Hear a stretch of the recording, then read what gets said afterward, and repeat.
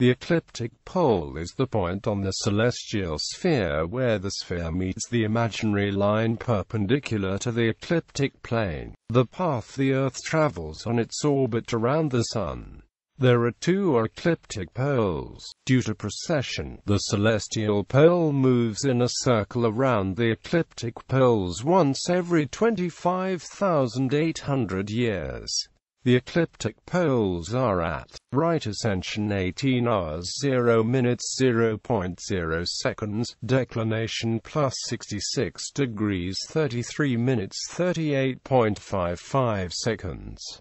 Right ascension 6 hours 0 minutes 0.0 seconds, declination minus 66 degrees 33 minutes 38.55 seconds, when expressed in equatorial coordinates. As a consequence of the Earth's axial tilt, it is not possible to have the ecliptic poles at the zenith in a dark sky. By definition, the ecliptic poles are located 90 degrees from the Sun's position. Therefore, whenever either ecliptic pole is at the zenith the Sun must be on the horizon. Ecliptic poles can be in zenith at Arctic and Antarctic Circle.